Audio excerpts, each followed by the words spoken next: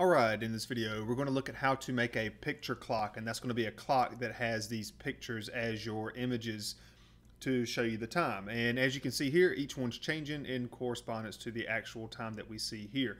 These are the 10 images that I'm using. I picked these up off of Google Images, uh, images that were labeled for reuse or modification. So let's go and KLWP and have a look.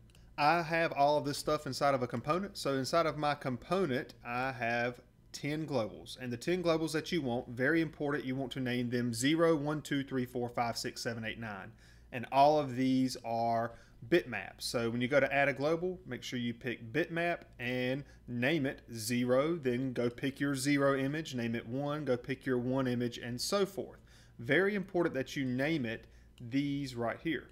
So over in the items, what I want to talk about, the reason why it's important to name your globals 0, 1, 2, 3, 4, all the way up to 9 is because we're going to use the global variable name in our code to get these parts of time, if that makes sense. So I'm just going to go into this text item right here, and I'm going to talk about, I'm going to get rid of the df stuff right now. Let's just do dfhh. And what that's going to return are the two digits for the time. And right now it's 418, so it says 04. Well, what I want to do is I want to cut each individual number out separately. So for DFHH, if I want to get this first digit in the HH function, I'm going to do text converter, that's TC. You can find all these functions in the little function list below. And I want to cut. So TC, I want to cut. So inside of parentheses, I'm going to type cut put my comma, and I want to cut the DFHH function, which is 04, and then after that, I'm going to put a comma, and I want to see only the first piece of that, so I'm going to type a 1, and I'm going to close that up with the parentheses. What that's going to do now is it's going to cut the first digit from the DFHH function, and recall it was, let me come down here and just let me do DF HH, close it up, and it's cutting that first digit. Now you may think, okay, if I want to cut the second digit, I'm going to do a 2. Well, that's not what you want to do. That's going to cut the first two digits. Well, what you can do, since there's only two digits here, if we do negative 1, for the second one, it's going to start from the left and it's going to cut the first digit from the, I said the left, but it's going to start from the right and it's going to cut the first digit from the right. So again, if we want to cut the first digit here, we do a 1. If we want to cut the second digit, which is going to be the first one from the right, we do a negative 1. So as you can see, that was changing between a 0 and a 4. Now, what we want to do with this, we want to, as you can see, this is returning numbers. You know, for example, if I just do the zero here.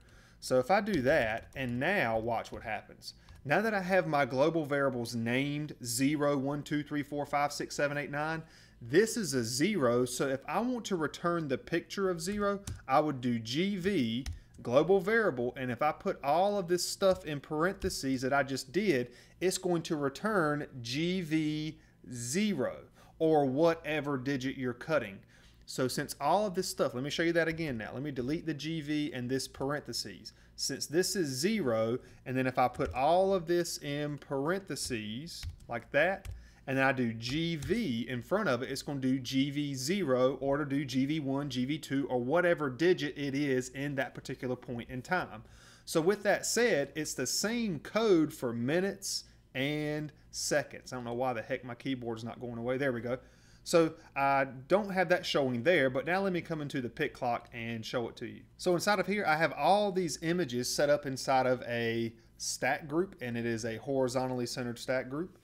And the square, I just use a square here to keep them all the same size. And it's very important that these pictures that you create, make sure they're somewhat the same size. That way one won't be, you know, astronomically larger or smaller than the other one. So as you can see, all these are fairly uniform, I guess you could say.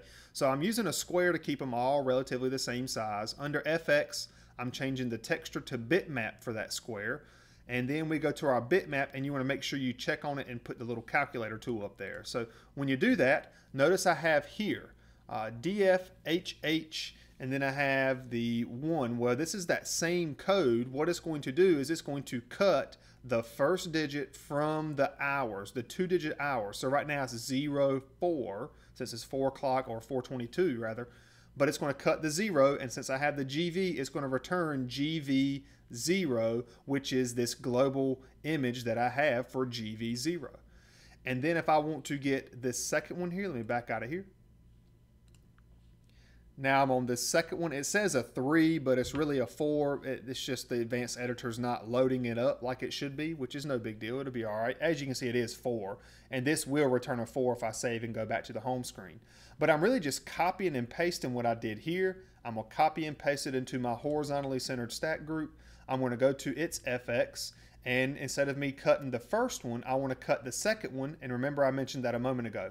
It's negative one because that's going to be the first one from the right, the first one from the end, if you want to think about it like that.